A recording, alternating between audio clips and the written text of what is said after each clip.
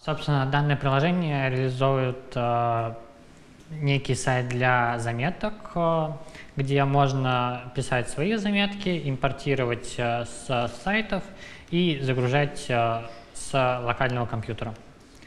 А, соответственно, посмотрим, э, как э, фронтенд общается с бэкэндом, и сразу увидим, что фронтенд, э, что фронтенд обращается к конечной точке GraphQL.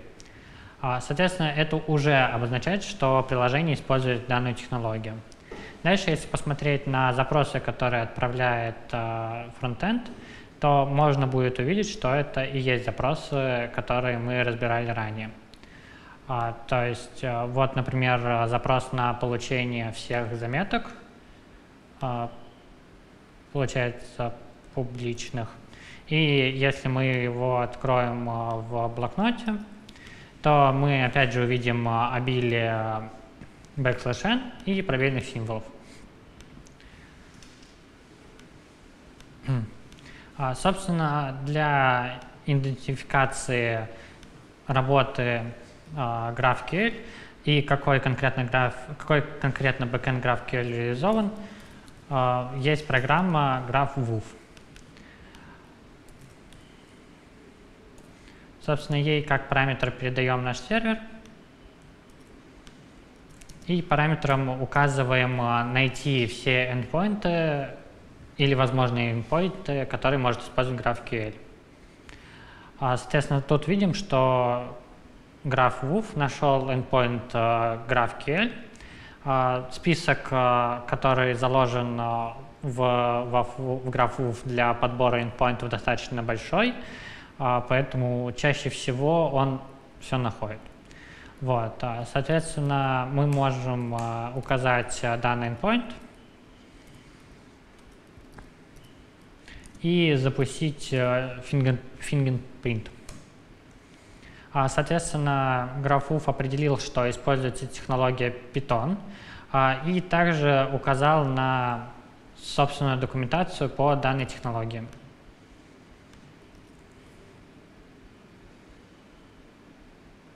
А, ну, мы видим ее... не- не- а, ну, у меня есть загруженный вариант.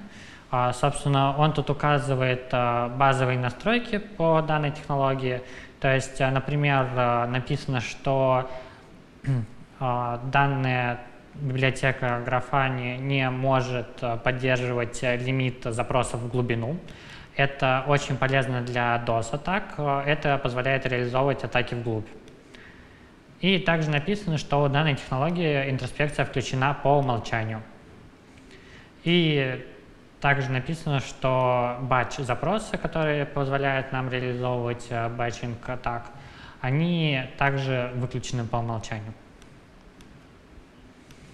А, Собственно, теперь э,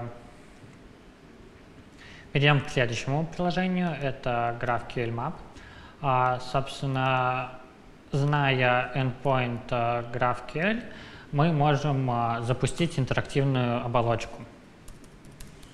А, Соответственно, посмотрим, что GraphQL Map умеет. Э, Он умеет, как я говорил, дампить схему GraphQL.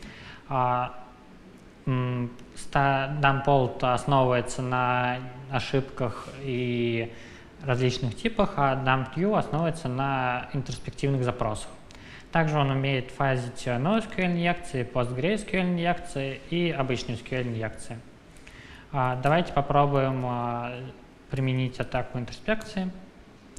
А, Собственно, мы видим, что интроспекция на данном, в данном приложении включена, и мы можем видеть все типы запросов и все поля, которые мы можем достать. Соответственно, самое интересное для нас это запрос System Diagnostics, который содержит поле CMD. А, Это предположительно, что мы сможем получить RCE на сервере, если мы знаем а, имя и пароль пользователя. А, Давайте попробуем, давайте я продемонстрирую, как GraphQL, GraphQL интерактивно посылает запросы на сервер. Например, запросим System Health. Соответственно, указав запрос э, с ключевого слова query и э, двойных кавычек, э, GraphQL Map за нас отправил запрос на сервер, и показал результат выдачи. А в данном случае System Health не реализован, как мы видим, что достаточно печально. А, теперь перейдем к обычным инъекциям.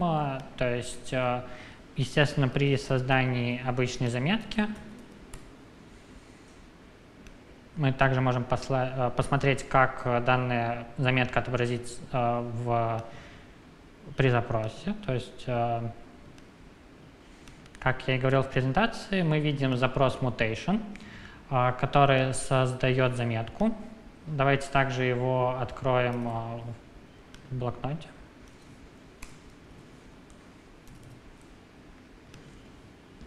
И, собственно, мы видим а, запрос типа mutation, который создает заметку и требует такие параметры, как заголовок, контент, публичная или заметка, которая э, типа boolean, и born.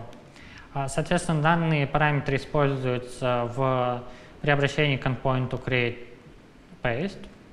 И, собственно, в отдельно в типе variables э, за нас э, JavaScript указал те данные, которые мы ввели.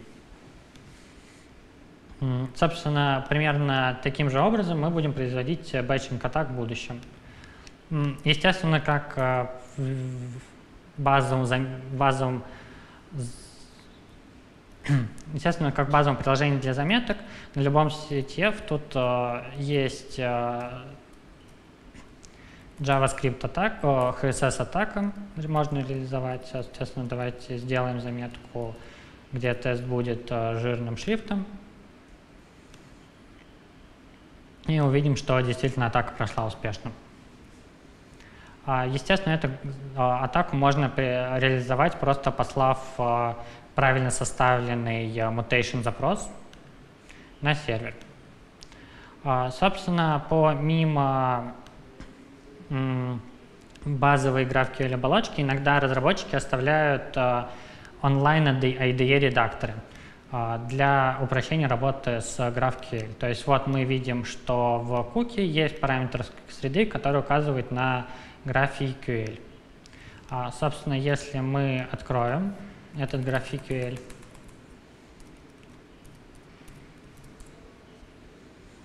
а, то мы увидим, что он по умолчанию выключен.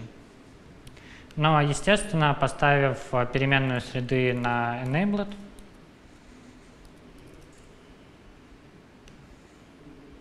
А, он будет нормально функционировать.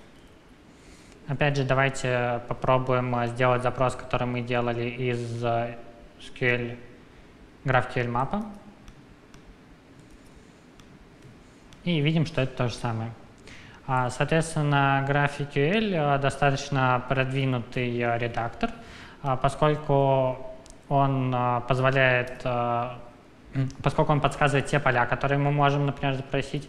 То есть э, мы видим, что тут есть paste, э, можно запросить э, публичные и непубличные, по-моему, он даже показывает тип. А, также он показывает различные ошибки в синтаксисе запроса.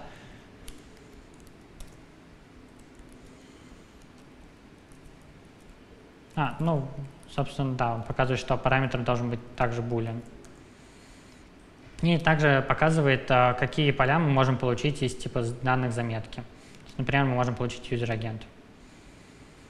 А, собственно, это все работает за счет интроспекции, который, которую делает GraphQL. И также он а, облегчает нам жизнь и строит для нас документацию к данному API. То есть мы видим, какие запросы QL существуют. Мы видим, какие поля нам необходимо указать и ну, видим, какие поля мы можем получить. А, теперь разберем а, следующий а, бейчинг тип атак на, в реальной жизни. А для этого, как я упоминал ранее, существует приложение BatchQL. Собственно, для BatchQL сначала мы должны создать файл, в котором будет лежать сам запрос. А, собственно, я взял запрос System Diagnostics. А, давайте скопируем его в SQL, GraphQL.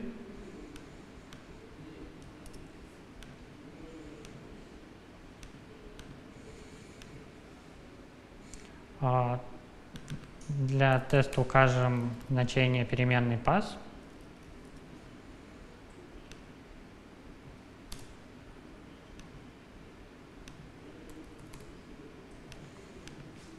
А, и, собственно, мы видим, что пароль тест неправильный. То достаточно очевидно. А, соответственно, я ввел пример команды ID, а, поскольку нам в будущем надо будет как-то искать и отфильтровывать правильный ответ. Ну, соответственно, в данном файле лежит этот самый запрос и параметр pass, который будет подбираться. А, собственно, теперь составим а, запрос а, к GraphQL, укажем этот путь, укажем, что нам надо заменить перемен, указать переменную pass на перебираемое значение. Укажем, что словарь для переборки будет password1.txt.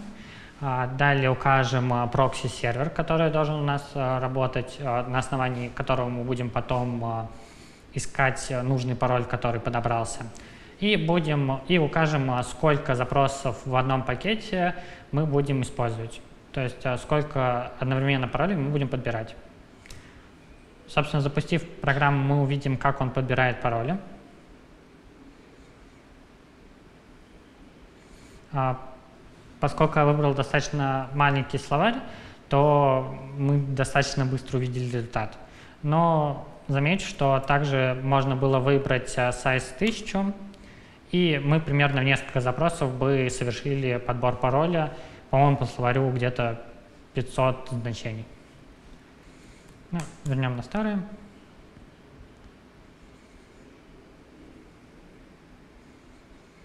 Но тут самое главное это не перестараться. При достаточно большом количестве запросов в одном пакете мы совершим DOS-атаку. Так называемую атаку в ширину, о которой я упомянул ранее. Собственно, в, на прокси-сервере мы видим э, результаты перебора. А, вот тут наглядно видно, как э, подбирается несколько параметров. То есть э, мы указываем запрос и переменные, которые надо подставить. А, соответственно, с помощью Burp Suite мы сейчас все это сохраним в файл.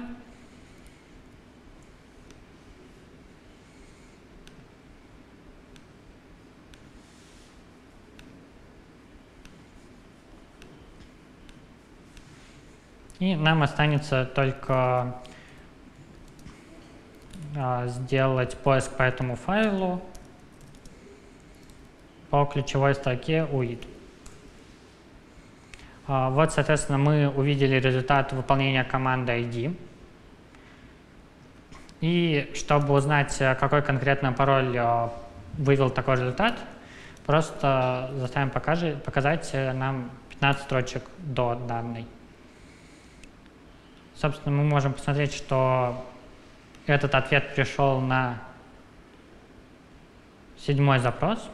И, собственно, заметим, что седьмой запрос был с значением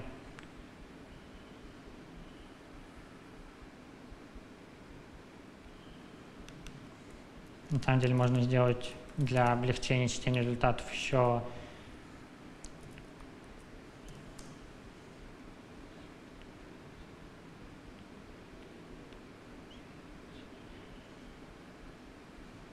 Ну и видно, что э, седьмой запрос — это пароль change.me. Э, соответственно, мы уже получили RCE на сервере за счет э, быстрого перебора слабого пароля. А, то есть, если бы это был токен двухфакторной идентификации, то четыре цифры мы достаточно быстро бы подобрали, если учитывать то, что мы можем одновременно подбирать тысячу значений в одном HTTP-пакете.